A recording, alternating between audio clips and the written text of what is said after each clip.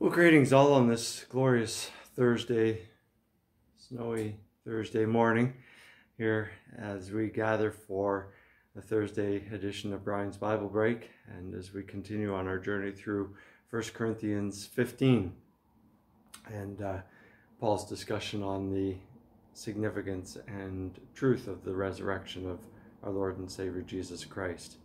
And so this morning we're reading from verses 32 through, through to 34 and reading from the New Living Translation. Let's begin with a word of prayer. Dear Heavenly Father, we thank you, Lord, for this day that you've given us, for the blessing that it is.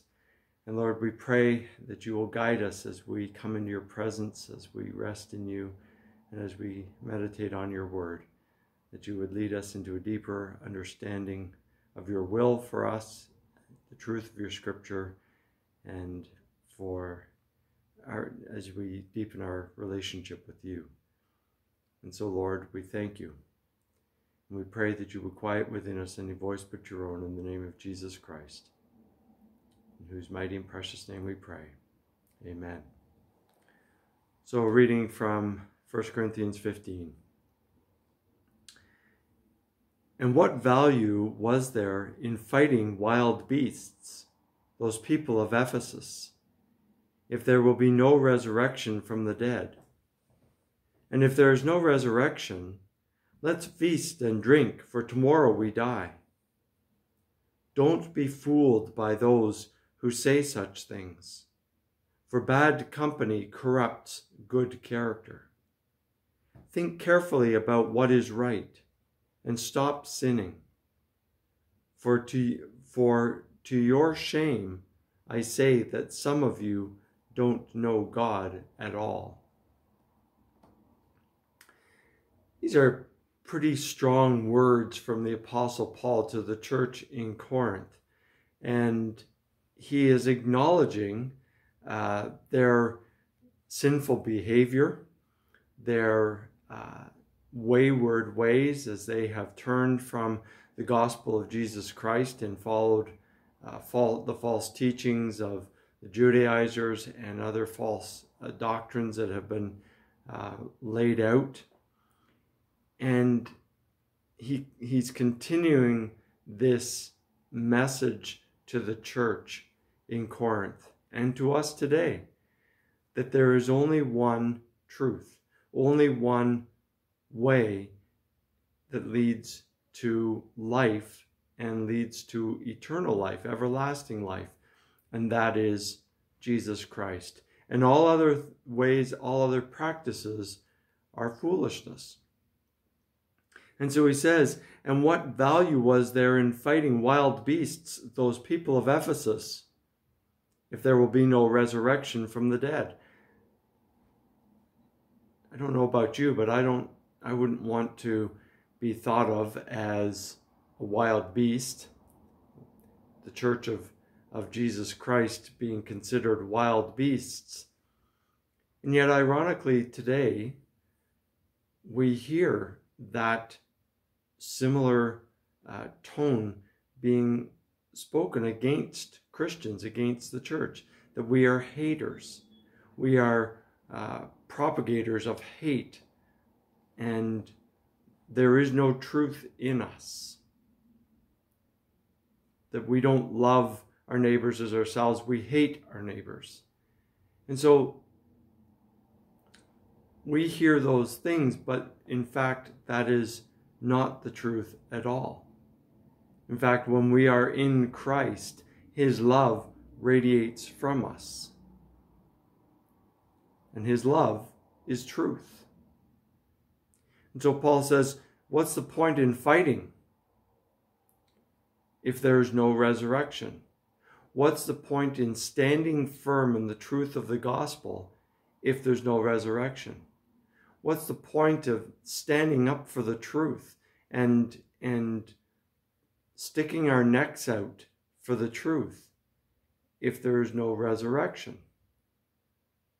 What's the point in taking a stand for anything? If there is nothing beyond this life that we are living here, if there is no resurrection from the dead. And he says, if there is no resurrection, let's feast and drink, for tomorrow we die. In other words, let's eat and drink and be merry and, and engage in all kinds of debauchery and, and, and pleasure, for it, it matters not. Because we die, and when we die, there's nothing beyond that. There's no hope beyond that. There's no resurrection from the dead. So, what difference does it make what we do uh, in this life. We might as well get drunk and get stoned and and and live a life of of want and pleasure and desire and and sin because it doesn't matter. It, it doesn't matter. And sadly, friends, there are people who believe that, even today. There were people in the church in Corinth who believed that, and there are people today who believe that. And it doesn't matter. Get drunk, get stoned, party with wild abandon. Doesn't matter. And the sad reality is, friends, it does matter. It does matter because there is the hope of resurrection. And Jesus gave us that hope when he rose victorious on the third day. And so Paul says, and we need to be reminded of this ourselves don't be fooled by those who say such things. Don't be fooled. Don't be misled. Don't be led astray by false doctrines and false teachings. Don't be driven by the wind of doctrine that takes you away from following Christ. Because he says, for bad company corrupts good character. Oh, how many times did I hear my parents say that to me? Choose carefully your friends. Choose carefully the people you hang around with. Choose carefully the doctrine that you follow. Because as Jesus said, not all roads lead to eternal life. The wide road, which is easy and filled with pleasure, leads to destruction and death. The narrow path, which is rough and difficult leads to eternal life. Oh, it's very easy to get drawn into following the ways of the world because they're easy and they're fun and they're they're pleasant but they lead to destruction and if there's no resurrection from the dead then what difference does it make paul is saying but it does make a difference because there is resurrection from the dead. And when we hang out with people who corrupt the doctrine, corrupt the gospel, corrupt the teachings of Jesus Christ to fit the desires of their own hearts, then we get led astray. He says, Think carefully about what is right and stop sinning. How many times do we hear that? Stop sinning. Sin no more in the Gospels. In, in fact, in, in, in all of Scripture, Old Testament and New Testament. The most profound example of that is Jesus when the, the Pharisees bring the woman who is caught in adultery to him and Jesus challenges them and he says, He who is without sin cast the first stone. And they all drop their stones and walk away, and he's left with this woman. And he says to her, Is there no one to condemn you? And she says, No, no one. And he says, Then I don't condemn you either. Go, but sin no more. Stop sinning. stop sinning because sin separates us from God. And Jesus' blood paid the price for our sin so that we could have fellowship with Him now and for all eternity. But because Jesus' blood pardoned our sin, doesn't give us a free pass to just keep sinning. When we accept Christ as our Lord and Savior, we are a new creation. The old is gone and the new has come. And a life in Christ is a life that has been purified from a life of sin. It doesn't mean that we won't sin, but it means that we seek the Lord's leading and the power of Holy Spirit to help us not live lives of sin. So he says, think carefully about what is right and stop sinning. Think about what is right. Think about Christ. Fix your eyes on Jesus.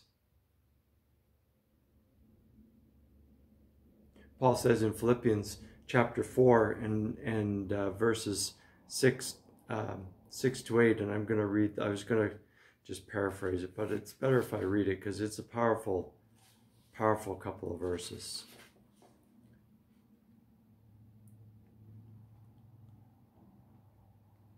He says, uh, And now, dear brothers and sisters, one final thing.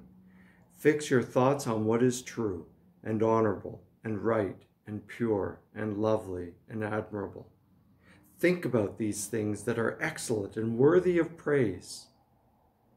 Keep putting into practice all you learned and received from me, everything you heard from me and saw me doing. Then the God of peace will be with you. Think about these things. Fix your thoughts on what is true and honorable and right and pure and lovely and admirable. When we fix our eyes on Jesus, those are the things that, that are in our thoughts. And that's what Paul's getting at here. When we believe in the resurrection, when we when our hope and our faith is founded on the truth of the resurrection, and we have accepted Christ as Lord and Savior of our lives, our thoughts are fixed on Him.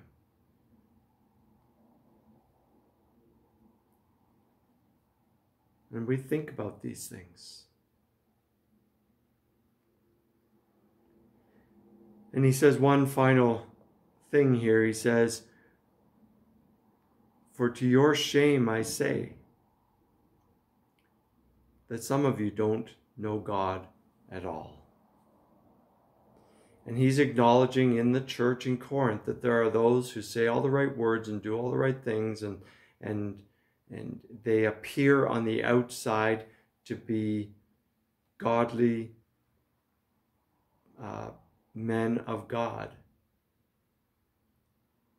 But their lives don't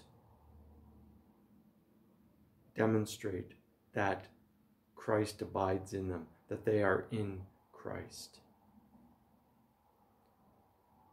And so we have to, to recognize in our own lives the need to reflect Christ in us. The words we speak, the things we do. And we need to check ourselves. And if, if we are doing something or saying something that is not consistent with God's word or God's will,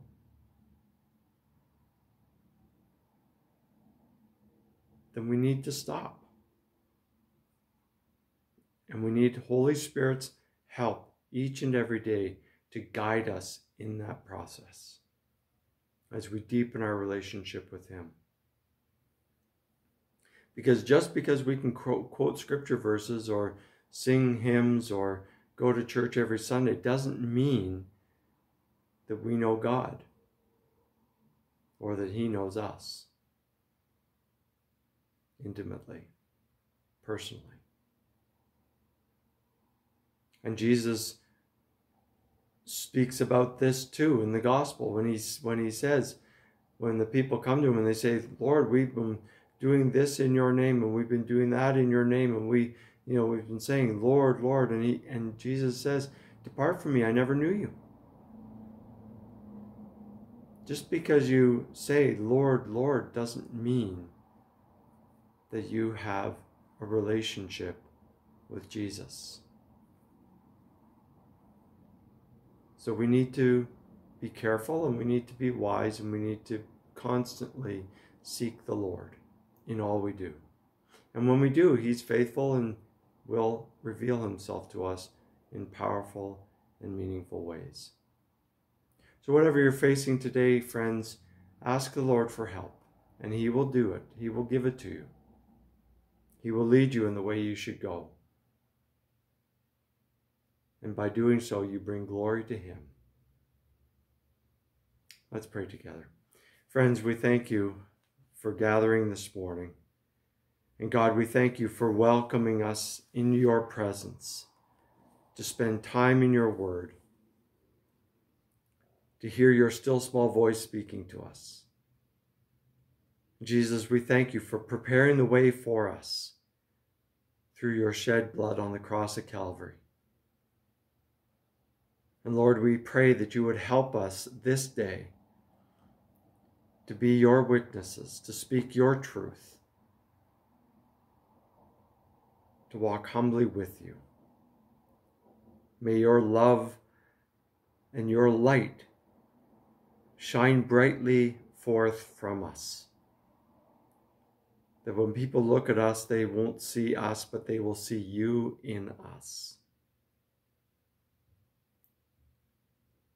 and that they will know that you that we are your followers, your disciples, by the love that we share with others. Lord, would you be glorified through us? In the mighty and precious name of Jesus Christ, we pray. Amen. Well, friends, thanks for joining me this morning for this short reflection on God's Word. I hope that you've been encouraged by it and we look forward to seeing you tomorrow as we uh, enter into the exciting part of Paul's uh, expression of the resurrection, beginning um, with verse 35 of chapter 15. So we'll look forward to seeing you tomorrow. Blessings to you. Go in peace, friends. May the Lord bless you and keep you this day and always. Amen. See you tomorrow.